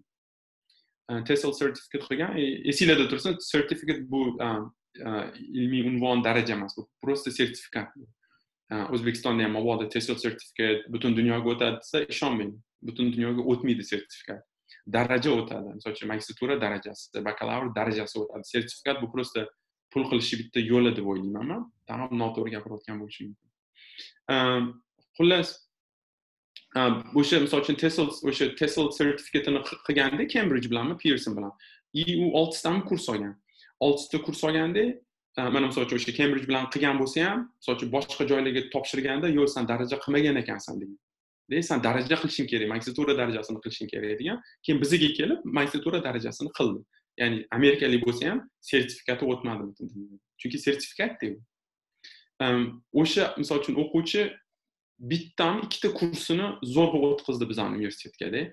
Shunda ham nima qildik? Ehm, o'sha olgan kursing bizaniki bilan ekvivalentmi muqobilmi? Ehm, o'sha kursida olganingda nima proyektlar qilding? O'sha kursni silabusini bizga yubor qaysi universitet qaysi domla dars berdi? Hay'at komissiyasi tuzib bittami ikkita kursini oldik biz lekin misol uchun man ishlaydigan programmada magistratura qilmoqchi bo'lsangiz o'n ikkita kurs olishingiz kerak. O'n ikkita kurs olishingiz kerak hammasi bo'lib thirty six credits o'ttiz oltita kredit. Chunki odatda graduate level magistratura qilmoqchi bo'lsangiz har bitta kursga uchta uch kreditni beriladida mana shunaqa bo'ladi endi o'sha o'n ikkita olishingiz kerak endi mana bunaqa o'n ikkitadan odatda oltitasi required bo'ladi oltitasi required bo'ladi ya'ni u kurslarni olishingiz shart qolgan oltitasi odatda elective bo'ladi ya'ni ya'ni o'zingizni qiziqqaningizga qarab olasizda mana shunaqa endi qo'shimcha qilsam bo'ladimi? Ha kreditlar har bir davlatda sal boshqacharoq hisoblanadi. Kredit degani aytganlaridek ulug'bek qancha soat dars olishingiz kerak? Mana amerikada o'ttiz olti soat ekan man bilganim bu tot programmasizlarmi o'ttiz olti odatda o'sha test programmasi graduate. ha a dissertatsiya ham kredit beriladimi?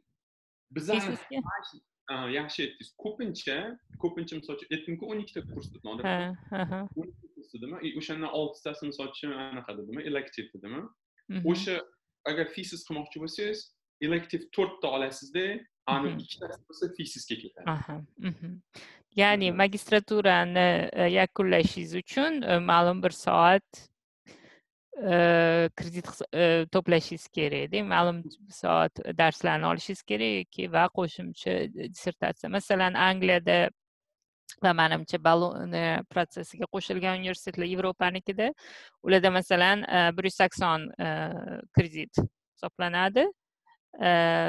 Bunda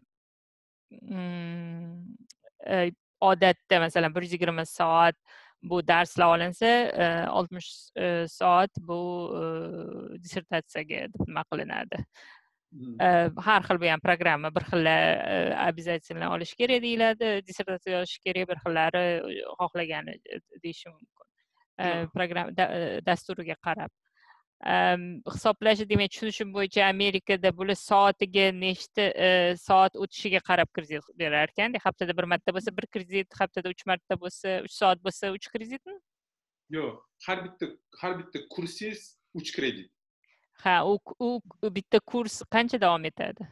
Bitta kurs misol uchun bir semestr davom etadida haftasiga necha soat bo'ladi? Misol uchun haftasiga haftasigacha o'ziga qarabda. Misol uchun man beradigan kurslar ko'pi onlaynda onlayn misol uchun onlayn bo'lmasa ham bizani universitetimizdagi talabalarni sharoitidan kelib chiqqan holda haftada misol uchun bir marta ko'rishamiz ikki yarim soat. Ikki yarim soat. Ko'rdingizmi? Haftasi uch soatda o'shaning uchun shu nuqtai nazardan kelib chiqarkanda angliyada umumiy soati hisoblanadi. Shuning uchun bir yuz sakson deyapman ha shuning uchun mumkinmi? Nodira? Mana shu yerda bitta mana shu kredit haqida o'zbekistonda anekdot man so'radim bizada qachon shunaqa education kreditlarni qila boshlaymiz u bu deb aytsam mana birinchi oktyabrdanmi o'qituvchilar kuniga o'qituvchilarga mashinalarga kreditlar ajratdik. Man man nafasim ichimga qaytib jim bo'ldim qo'ydim. Все об этом больше не говорю o'zbekistonda baloni protsessiga jarayoniga a'zo bo'lishga anchadan beri harakat bor edi. Keyin negadir to'xtab qoldi. Ha o'sha nimalarni kreditga o'tkazish nuqtai nazaridan lekin xorijiy universitetlarda bu bor. Masalan vestminster universiteti bularda shu nimalar qilinadi hisoblanadi. Lekin bizanikini ham shu nimaga o'tkazsa bo'ladi chunki bizada ham nima qilsanglar ilovaga diplomga ilovasiga necha soat o'tilgani yoziladi mana shu yozilganda agar shu nostrifikatsiya qiladigan tashkilotlar shunga qarab kreditini chiqarib berishi mumkin to'ymurod mana bizani слушательlardanda to'ymurod amerikada bitta kredit necha bizani soatga to'g'ri keladi deb so'rayaptilar chunki leksiya paytida aytib o'tgandimda shu anekdotni bu tinglovchilarimiz malaka oshirishdek yaxshi yaxshi. Yo rahmat aytganingizga shunaqa u anu nima deydi nodir opani gaplariga keyin jamila opani gaplariga qo'shimcha qilib aytmoqchiman. Ko'ryapsizlar misol uchun amerikada boshqacha kredit sistema nodir opam britaniya britaniyada boshqacha balkim kanadada ham boshqachadir и jamila opam o'zbekistondan anu jok aytdilar o'shanga mana shunaqa anaqada nima deydi bir xillarda aytamizku shuna bilishimiz kerak o'sha narsalarnida и o'shanga farq qiladi misol uchun yevropada mana shunaqa deganingiz bilan misol uchun balkim boshqa mamlakatlar boshqachadir misol uchun shimoliy amerikada mana shunaqa ekan deganingiz bilan kanada boshqacharoq bo'lishi mumkinda to'g'ri nodira bilan aytdinglar ikki xil kanada bilan amerika. Rahmat keyin anaqa yozibdilar dilfuza karimova what, what if there is a 20 year gap between your BA and desired MA okay zo'r zo'r savol. Dilfuza opa yoki singlimiz qilsangiz bo'laveradi agar misol uchun sohangiz agar ingliz tilidan dars berayotgan bo'lsangiz topshiravering amerika qo'shma shtatlarida topshiravering nima deydi? Amerika qo'shma shtatlarida ko'pincha ko'pincha osmon sizga to'siq yosh emas anavi appleda ishlaydigan yaqin o'rtog'im bor. Germaniyalik bola o'shanga hey qara ellikga to'libsan desam aytuvdi e bu просто nomerku bu yosh emasku deb o'shanga anaqa topshiravering keyingisi shahlo boboxo'jayeva qirq beshdan oshgan kechirasiz qirq besh bu ham xuddi shu nima savolga mani ham o'rtog'im bor qaynona qaynotasi hozir phd qilishyapti bu yerda yetmishdan oshgan qayna qaynotasi bir bir ishlashgan va qilishgan endi pensiyaga chiqib shu bir masalan bunaqalar ham ko'p shunaqa misol uchun man sizlarga sizlarga aytdimku nodir opa zo'r bo'ldi qo'shganingiz aytdimku har yili o'qitaman har yili misol uchun har semestrda bitta buvi yoki bitta buvani o'qitamanda и manga bilasizmi yoqadi nodir opa именно o'sha o'quvchilar nevarasi bor o'quvchilar odatda deadlinedan oldin narsa topshirishadi. Albatta. Chiroyli topshirishadi. И judayam mas'uliyatli. Nevaralar yordam bersa kerak yo'q yo'q. Motivatsiya kuchlida chunki u o'zligi xohlab kelganda u masalan diplom uchun yoki nima uchun emasda haqiqatdan motivatsiya kuchli bo'ladida shu keyingisi judayam aha rahmat. Oradagi qildim gp bo'lsa mana aytib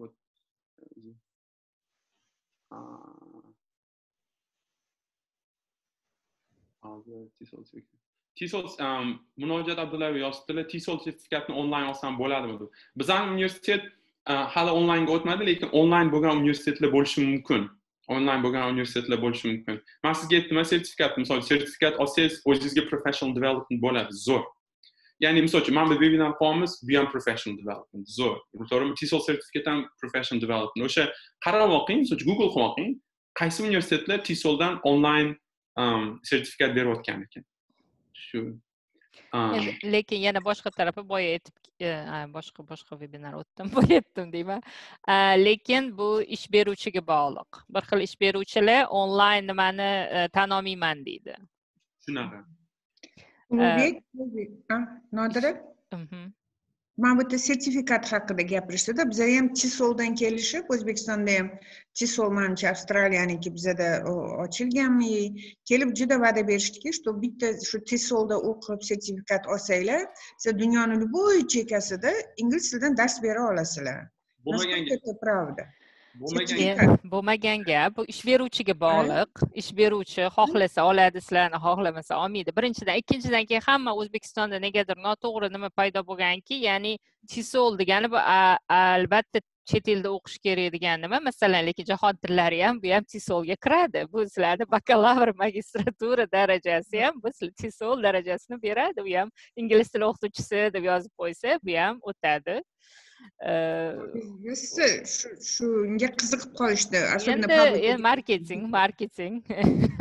O'tkazish kerak понятно вот lekin albatta aytganlaridek ulug'bek bu sertifikat bu sertifikat bu degree emas ya'ni daraja emas daraja bu baribir bakalavr magistratura ayniqsa bu nima deydi?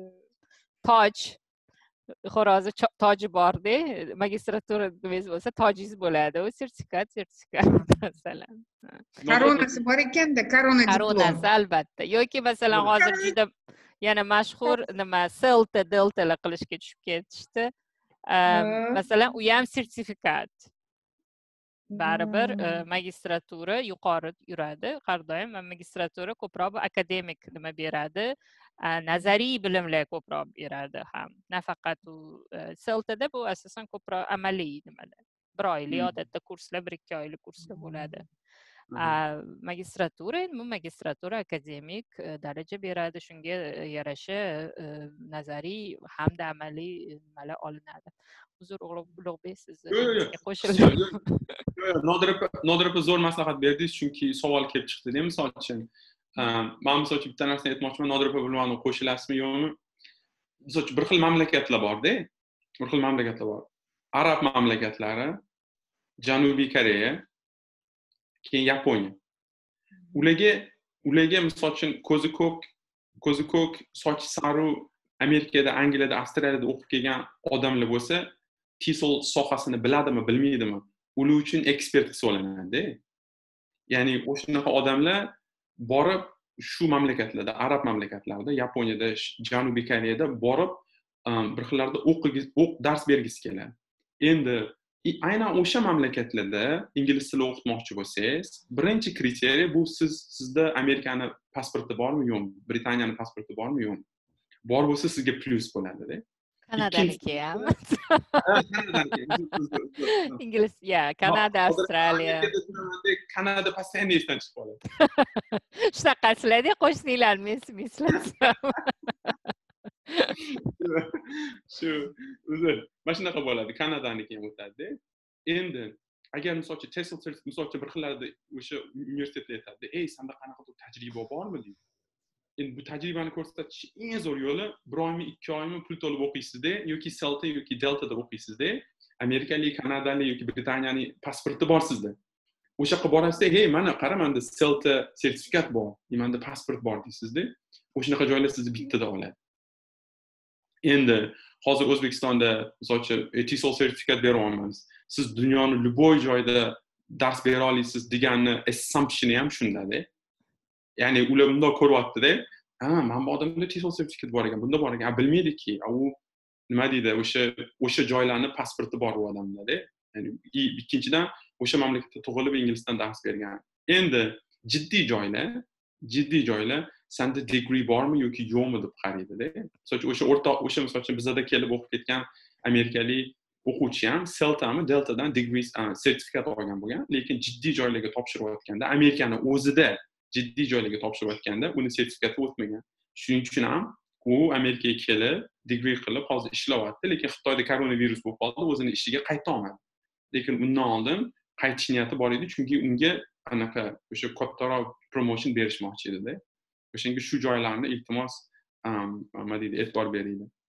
Keyingisi barno muxtor va what do you think about TESOL courses by American Council. Buni eshitmagan ekanman barno bizni amerikada malaka oshirsak bo'ladimi? Lekin rektoratimiz el yurt fondi orqali murojaat qiling deyishyapti. Yoki biror tanish bo'lsa sizdan chaqirsin. Bizga o'shanda pulni to'lab beramiz deb aytishyapti. Ikki oylik malaka oshirish. O'sha sizni rektoringiz misol uchun bizaga chiqmoqchi nima deydi chiqib ko'rsalar saodat opa bizaga misol uchun ingliz tilida xat yozinglar man misol uchun xalqaro bo'limiga yozib yuboraman.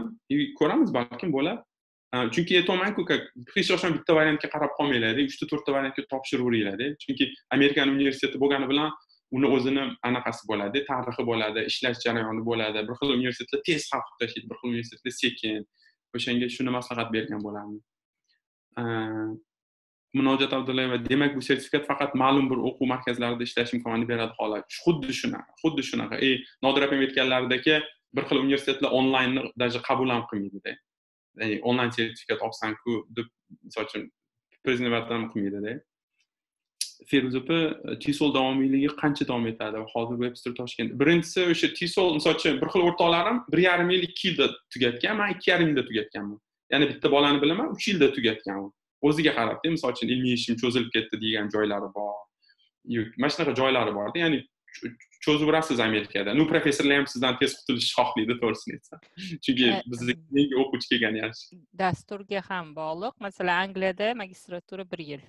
Hamma tisol programmalari ham hamma magistratura programmalari bir yil.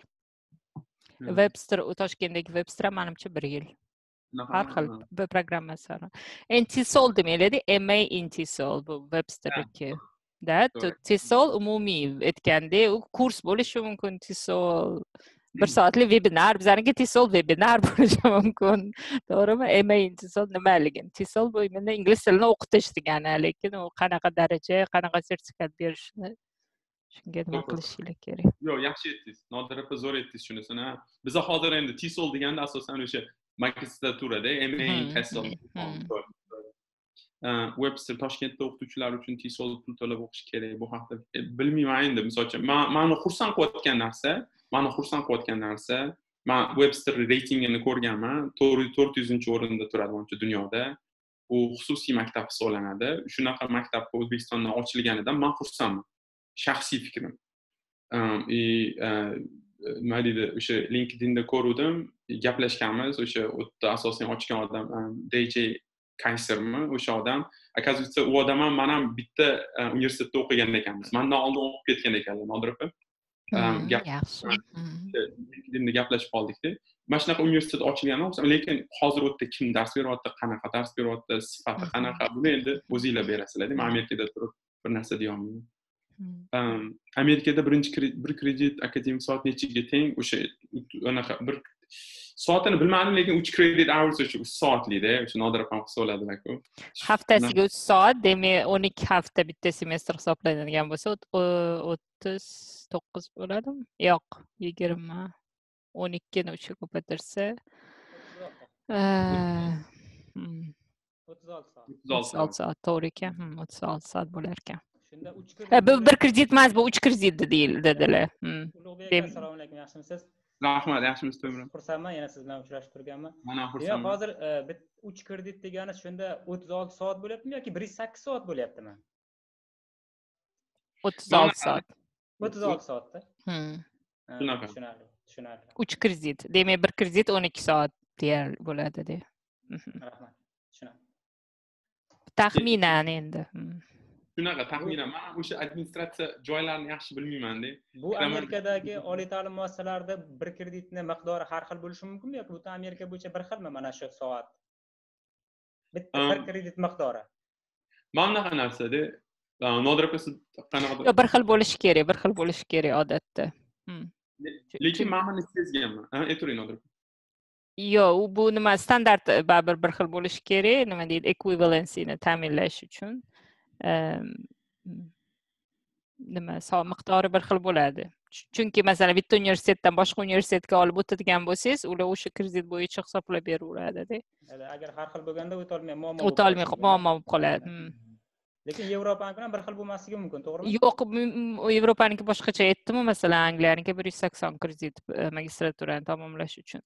Lekin aytganimdek hujjatlarni topshirsa o'sha universitetni o'zini nimasi e, hisoblab nima qilishi ham mumkin evaluation deydi nostrifikatsiya qilishi mumkin. Hmm. rahmat. Yo'q keyin yana bitta narsa aytib o'tmoqchiman. To'murod akani gaplariga. Misol uchun bitta narsa sezganmanda man nodir opa xullas misol uchun bir xil universitetlarda bir xil amerikan universitetlarida graduate level course graduate level course uchta uch kredit hours a bir xil universitetlar bo'lsa graduate level coursda to'rt и ko'pincha to'ri phdda to'rt qilib olishadi. O'zi bitta kurs. Lekin siz uni phd bo'lib olayotganingiz uchun to'rt kredit hour qilib olasizda. Mana shunaqa unaqasini bilmas ekan. Mana shunaqa shunaqa joylari ham bor. Keyin keyin kredit tizimida qanday e, buni buni lekin bilmadim. Odatda o'sha ana baholash tizimi to'g'risida so'rabdilar.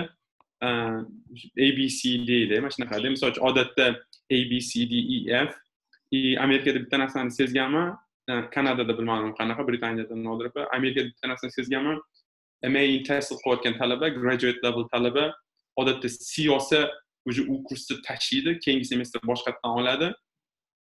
Xullas c gacha yetib bormaydida. Biz misol uchun professorlar c qo'yishga uyaladida ya'ni uch baho qo'yishga uyaladi ya'ni professor professor misol uchun bir marta e, o'qiyotganimda bitta fan social linguistics fanni tushunmadimda man o'qiyman tushunmayman hech o'xshamaydi professor mani chaqirib hey e, mabodo c qo'yishim mumkin sanga e, balkim kursni keyingi semestr olarsan deb manga shunaqa tavsiya berganlar ya'ni o'sha gpasga ta'sir qiladi boshqa narsaga ta'sir qiladi o'shanga ham odatda o'sha o'quvchilar a b olib yurishadi.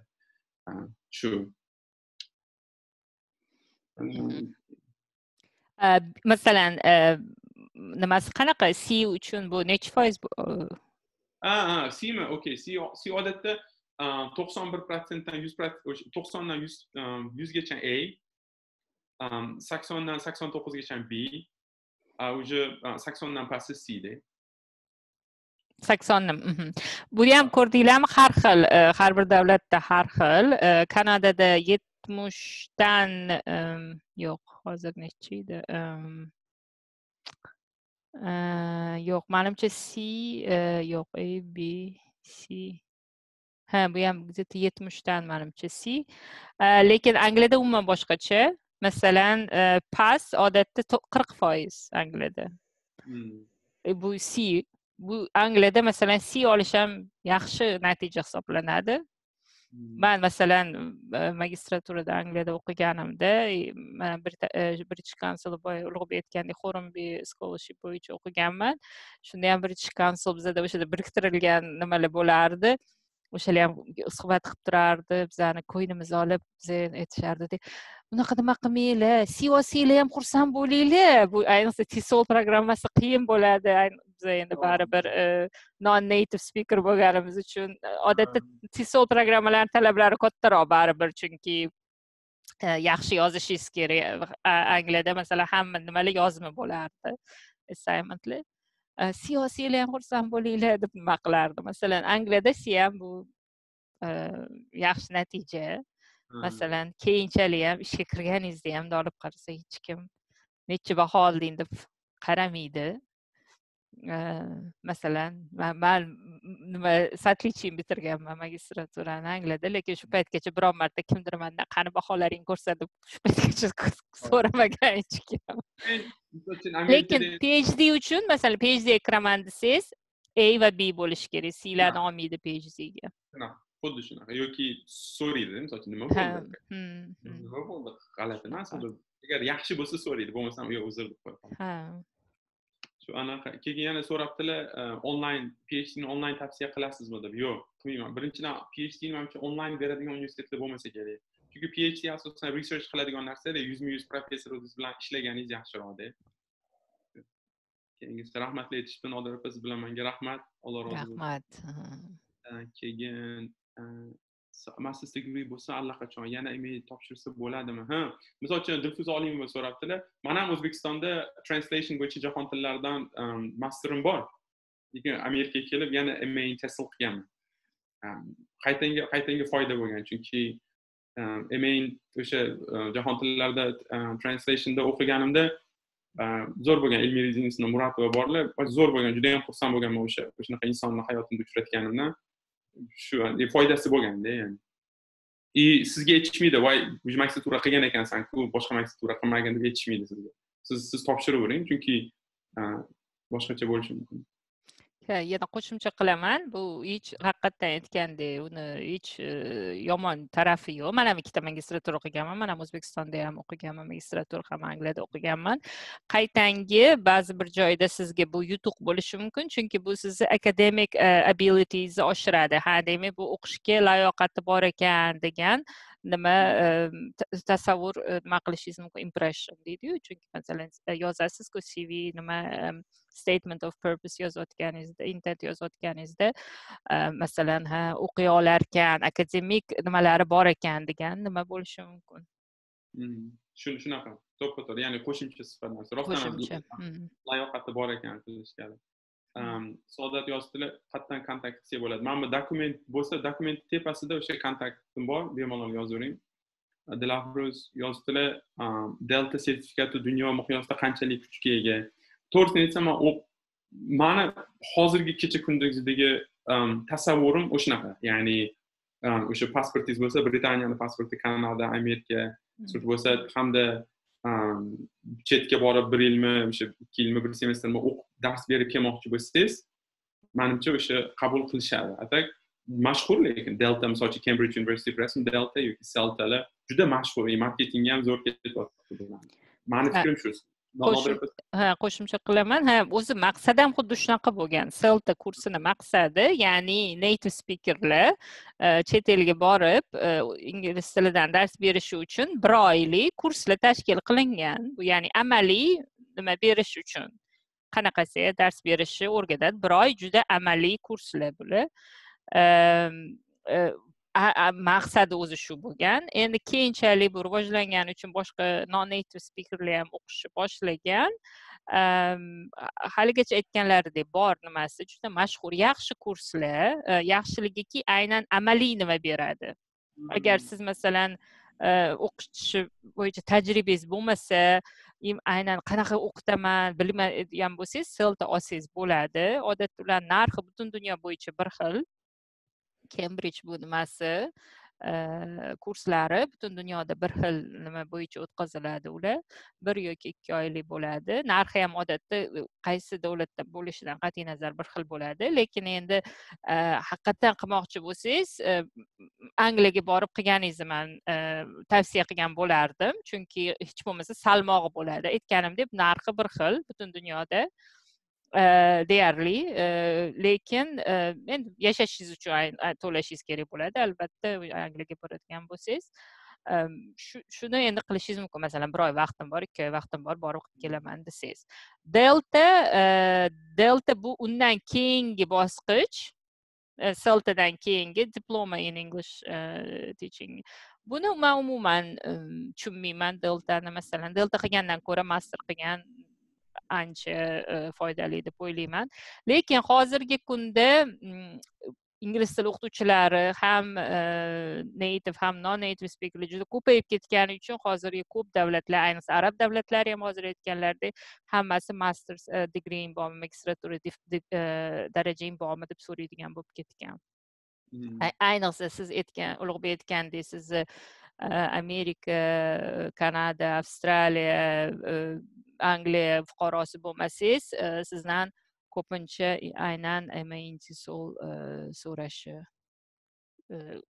nimasi ko'proq endi usda o'tadimi delta o'tmasa kerak u agar universitet aytgan boya kurslarida dars beraman desangiz o'tmasa kerak masalan kanadada ham o'tmaydi selta ham delta ham delta ham o'tmaydi universitetlarda o'tmaydi misol uchun universitetda qoshida ochilgan programmalarda o'tmaydida chunki daraja olib kelgan kurslarda balki ishlash mumkin частный kurslarda bizada ham ko'p masalan mana kurslar ko'p ochilgan chet eldan talabalar kelib balki o'shalar olishi mumkin selta yoki delta bitirganlar lekin nimani davlat dasturlariga mana ulug'bek aytganlari kanadada ham nimada ham olmaydi.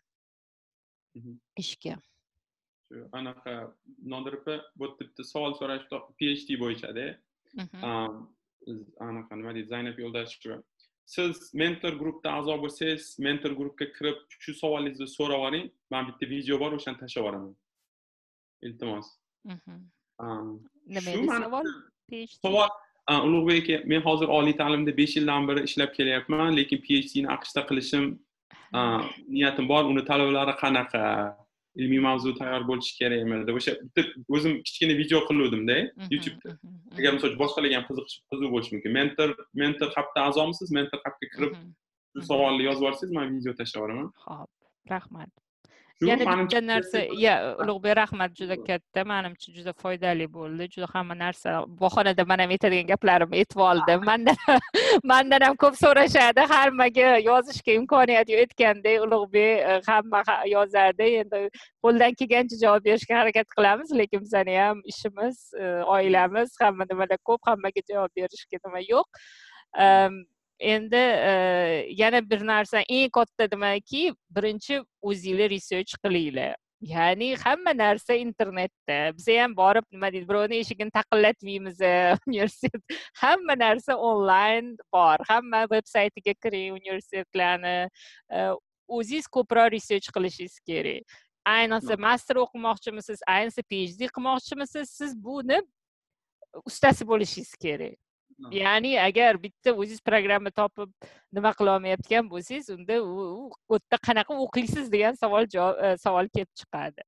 Shuning uchun yaxshilab e, o'rganinglar o'zinglar hammasi keyin albatta yana bir qanaqadir bir e, spetsifический qanaqadir savollar bo'lsa nimalarga chiqsanglar bo'ladi. Ayniqsa mana ulug'bek aytdilar professorlarga yozishdan oldin yaxshilab tayyorlanishinglar kerak. Ularni ishlarini o'qishinglar kerak. Kim bu odam masalan? Maqolalarini o'qib chiqinglar. Qayerda ishlaydi? Nima qanaqa nimalarga qiziqadi? Ana o'sha bo'lsa keyin sizlar yozsanglar unda bir e, sizlarga ham jiddiyroq qaraydi bu ani oddiy nima qilib yozmanglarda hech kim sizlarni qo'linglardan tutib e, nima ko'rsatmaydi. Bu hmm. hammasi bu mustaqil nima qilinadigan narsalar. Shunaqa. Shunaqa. Nodira opa to'g'ri aytasiz. Keyin man anaqa aytmoqchi edim nodira opa mabodo mana shu xudo xohlasa bu youtubega qo'yiladi to'g'rimi qo'yiladi xudo xohlasa mana bu google docsni ham o'sha youtube tagiga qo'yamiz qanaqadir savol bo'lsa o'sha mentor haqqiga a'zo bo'lib savolinglarni beraveringlar to'g'rimi o'sha yerda javob beramiz yaxshi bo'ldi nodira opa siz ham angliyanikini aytdingiz man amerikanikini aytdim ya'ni davom ettiramiz ha manimcha shuning uchun qo'shib ola qoldim ya'ni nima deydi? Savollar bo'lgan. Juda ko'p o'xshashliklari bor albatta baribir e, va ba'zi bir farqlari bor o'shaning uchun manimcha shuna. Yana shu nimada aytib ketishim mumkin kanada hukumati hozir grant ajratgan o'zbekiston fuqarolari uchun uch yilgacha bo'lgan kurslarga deyilgan masalan magistraturaga topshirishinglar mumkin va agar shu o'tgan dastur sizlar universitet qabul qilsa keyin universitet sizlarni nominglardan davlatga grantga topshiradi va shunda sizlarga scholarship berishi mumkin. Shunaqa imkoniyat bor. Bu yil bu yildan shu nima qildi aytgandek lekin siz o'zingiz universitet topib o'zingiz programma topib unga apply qilib agar o'tsangiz keyin universitet o'zi topshiradi. Shuni nimasi bor? Вообще zo'r ish qilishdi judayam zo'r tashabbus oltmish ming dollargacha nima beryapti grant? Judayam zo'r tashabbus qilishibdi. Trodoga trodoga rahmat nodira labbay ulguramanmi hozir savol berishga bering esingizda bo'lsa birinchida moodle classroom haqida gaplashgandikku aha hozir onlayn darslar ketyapti tvimizda o'zimizni to'rtta kanalda и bilasizmi bitta narsa чистый дурдом bo'lyapti o'quvchilarni ishtirok etishini talab qilishyaptida и fan o'qituvchilari o'tirib olib ishtirok etdingmi etmadingmi deb bittalab обзванивать qilishib o'quvchilarini baho qo'yishyaptida o'sha moodle classroom bo'lsa siz aytgandek o'quvchilarni shundoq ishtirok etganlari ko'rinadi. Bechora bolalarda internet bormi yo'qmi? Uyda bitta telefon bor bitta internetga qo'shilsang bo'ldi o'shanga shu yana shu moodle classroomni bitta qaytarsakda bir man auditoriya yig'ib bersammikin nodira mayli mayli bemalol agar nomusa o'zi hozir mana bundan oldin e, yana bir marta o'sha nimani o'tib berdim e, nizomiy nomidagi pedagogika universiteti o'qituvchilariga ha agar talab bo'lsa bemalol yana tushuntirib beraveraman man bitta klich qilamanda o'zim teacherlargada o'shanda aytaman shunaqa shunaqa deb. Bo'ldi bo'ldi. Rahmat. Ho'p rahmat. Ho'p rahmat katta ulug'bek vaqtingizni ayamang yo'q yo'q yo'q man man xursand bo'laman ya'ni juda juda juda foydali bu manimcha o'sha aytam buni ancha oldin qilishimiz kerak ekan buni haqiqatdan aytganingizdek juda ko'p savollar odamlar juda ko'p chanqoqligimizni ko'ryapsizlarmi chanqoq thirsty ko'z temas ko'z temas inshaalloh coviddan o'tib olaylik coviddan o'tib olaylik inshaalloh undan ham aktiv xudo xohlasa yo'q qaytanga ana nima deydi bu nima deydi не было бы счастья да несчастье помогло deganda onlayn ta'lim birdaniga nima bo'lib ketdida odamlarda ehtiyoj bo'lib bir hafta ikki hafta ichida hamma onlayn ta'lim nima haqida tasavvurga ega bo'ldi bu manimcha yaxshi taraflari shu o'n yilga cho'zilardi bo'lmasa gapirmang haqiqatdan bu manimcha ta'lim sohasini e, bir o'n yilga e, nima qilib yubordi oldinlashtirib yubordi deb o'ylayman o'zbekistonda ham Mana shu masalan Prizhov ko'plar deydiyu, albatta albatta bu manimcha masalan o'sha tele- te- televideniya orqali berilayotgan darslar ham albatta kamchiliklari bor. Bu juda tezkor qilishyapti. Lekin man anavi kuni e, xalq ta'limi nimasini ko'rdim. Odamlar takliflar nimalar bergan. Ko'plar xursand man xursand bo'ldim yoqayotganidan bu ham bir birinchi qadam. Tez davrda buni qilishligi ham juda katta nima va keyinchalik ham bu bir resurs baza bo'lib qoladi. To'g'rimi? Bu mana shu ko'rsatuvlarni bir baza qilib keyin bular o'qituvchilar xudo xohlasa e, ochilgandan keyin ham sinfxonalar sinfxonada ham ishlatsa bo'ladi masalan. Bu juda katta narsa masalan manimcha. Bu ham bir e, bank ha, bank resursida. To'g'rimi? Manimcha bu ham katta bir nima xudo xohlasa to'g'ri aytasiz misol uchun uzr endi. Ya'ni gapdan gap keldi deydiku misol uchun ko'p o'sha mentor hubda yozishyaptida zoomni qanaqa ishlataman qanaqa qilaman nima qilaman deb xuddi o'zbekistonda berilayotgan shu savollar o'zbek mutaxassislarini orasida berilayotgan savollar amerikadagi universitet professorlarini orasida ham shunaqa savollar ketadi mm. ya'ni zoomni qanaqa ishlataman nima qilishim kerak qaysini to'g'ri. Mm. Birinchidan hammamiz uydamiz. Amerikadagilar o'zbekistondagilar ham kanadadagilar uyda. Ikkinchidan hammamiz onlayn ishlashimiz kerak. E, hammamiz nima deydi muammoyimiz bir bo'lib qoldida to'g'ri to'g'ri. Mana shu tarafdan o'zbekiston nima ta'limini ham manimcha bir pog'onaga olib chiqishga imkoniyat bo'lib qoldi. Odamlar onlayn ta'limni tushunishni boshladi va e, boshqa e, dunyoni istalgan nimasidan ta'lim ola olarkanman degan tushuncha paydo bo'ldi. Chunki mana hozir onlayn bo'lgandan keyin xohlagan nimadan olish mumkin. Masalan mana man hozir man kanadadan bog'lanmayapman ulug'bek amerikadan to'g'rimi farqi yo'q bu onlayn bo'lgandan keyin e, bu manimcha juda katta imkoniyat har bir nimada bir xosiyat bo'lgandek manimcha mana shu nima ham bir o'ziga yarasha xudo xohlasa bahonada bir birimizni bilib oldik hozir to'ymurod aka tanishib oldik jamila opam ancha bo'lgan edi o'g'illari bilan kelgan ekanmiz eng faollardan jamila opa rahmat mayli rahmat rahmat ulug'bek aka Yaxshi sizga yillarda kattakon ko'rishaylik yana. rahmat. mayli yubileylargacha bay bay. xayr ishtirokchilarga rahmat.